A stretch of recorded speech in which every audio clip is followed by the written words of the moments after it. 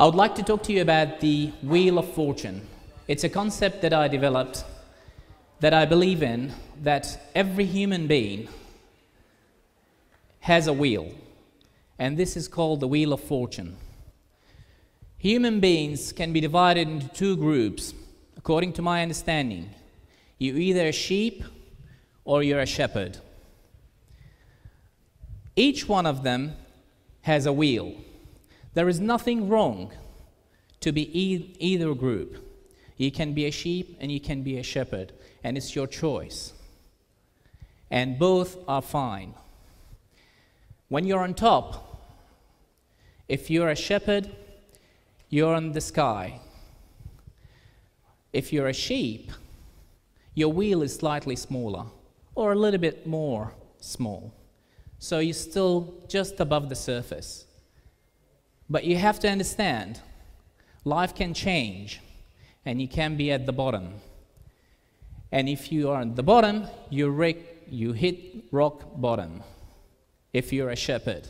So you need to be mindful of that because when goes wrong, they go wrong really bad.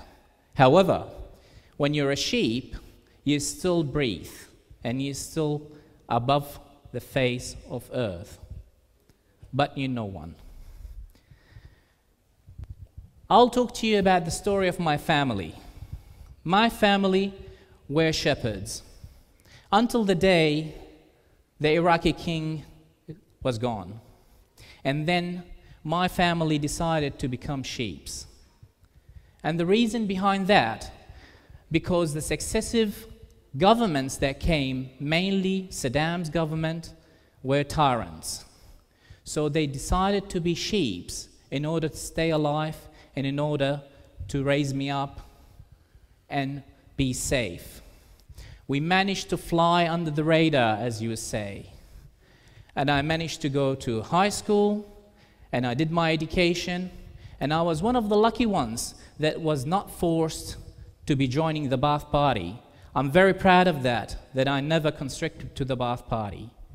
And I also managed to get to the medical school and I graduated. I didn't ever expect that I was going to leave this country and I was happy with where I was and I was a sheep. Until that moment where things changed and I had to make a rough decision in my life and that was the most difficult decision in my life when I was asked to commit a crime and I refused and I decided to run away for my life because I wouldn't commit a crime. I ended up running away. Though I decided to become a shepherd, I was one of many people who were escaping. And it doesn't mean that you're bad if you're escaping from death, because life is valuable. And then you can turn back and come again and start a new life. I ended up on a big boat well, actually, it wasn't that big. It was a leaky boat that was not seaworthy, heading to Australia. I did not choose Australia. It happened because that was the only path that I could take. I was crammed among 165 people like sardines. People were vomiting, people were urinating on themselves, and it was miserable. A lot of them were Iraqis, and I was proud to be one of them. We ended up in Curtin Detention Center. It was jail. It was way worse than jail. It was hell on earth.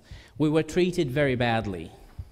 In Australia, the land of opportunity that you expect, a first world country, we were treated with numbers. I was tagged with a, with a permanent marker on my shoulder. My name was stripped off me, and I was called 982 for the whole period I was inside the detention center. No matter what I explained it to you, I would not give it its justice. However, I decided to stay a shepherd and I decided to call for my rights and I, I, and I decided to, to ask for the rights of people who were with me. So I was singled out as a troublemaker, and as a result of that, the government in Australia put me in prison They put me in all sorts of jails maximum security prison, Karratha jail, and I tell you what, the prison system in Australia is brilliant. I strongly recommend that. It was way better than the detention center. Eventually, time passed, and I did my time, and I was recognized as a refugee, and I was released. But before that, I was kind of tortured, psychologically tortured. I was put in a box in Australia for 40 days. And you wouldn't believe that these kind of things can happen in such a country. You would expect that to happen during Saddam's regime. Anyway, time passed and I moved on. And I pursued my dream, the dream that I had when I was 14. I watched The Terminator, the movie, and I dreamt of making half human, half machine, living in Iraq, noticing a lot of people who lost their limbs due to wars and miseries of bombs, explosions. I wanted to help people. So Australia turned from the land of misery to the land of opportunity. When you're out there and where you're recognized as a human being with rights, you could achieve anything. And I hope Iraq is on the right track to do the same. Things have changed in this country, and I'm very pleased to see that this place is way better when, than when I, when I left it.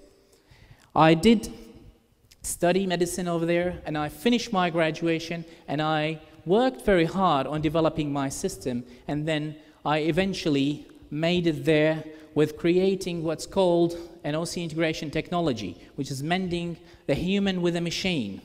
And it is very kind of cutting edge technology that's mind blowing. It's when you, when you connect a human body with a high tensile strength titanium device and you hook it up into the skeletal system and then you rejig the nerves and the, and the, and the soft tissue structures and the mind start controlling the body.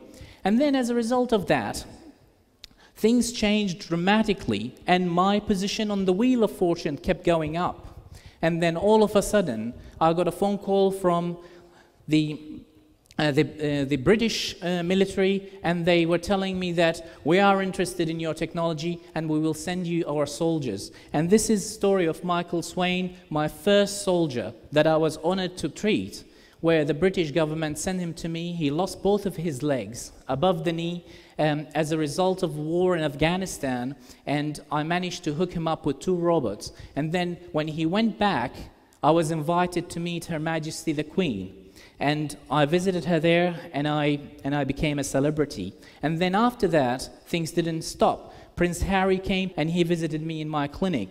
And then it went on and on now. The American army is interested, several other countries are interested, and there is no week that pass um, without people coming from all around the world learning the technology. And then I was invited to come back to this country, to Iraq. And I must tell you, at the beginning, I thought a lot about it. And I thought, am I going back to the country? You hear a lot of horrible things. And there were when the plane was landing, I could see that Baghdad is lit with light. It was a massive city. And I had these goosebumps. And I had some fear inside me that I'm going to the unknown, the place that I left in fear, in the shadow of darkness. But then, within hours, things dramatically changed. Forget about the excellent hospitalities that I received, the royal treatment that I got. Forget about all of that. It's the smile, it's the welcome, it's the freedom of speech. It's the, you can do whatever you want. You can take a photo. And I kept asking, can I take a photo in here? Yeah, of course, you can take a photo. And I'll tell you what, people, you see people and they can be pessimistic and they can say things hasn't changed. I tell you, this is not true. Iraq has changed and Iraq isn't changing. You just need to be patient, people. The road of 1,000 miles start with one step and you are on the right step. And I congratulate you all for surviving in this country and keeping it going.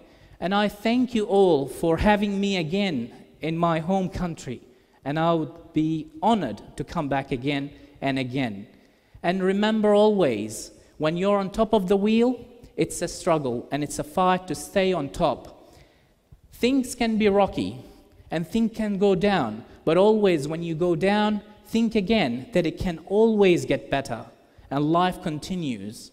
And the only time that things stop is when your pulse stop. And until then, keep fighting, keep fighting, and keep going. God bless you all.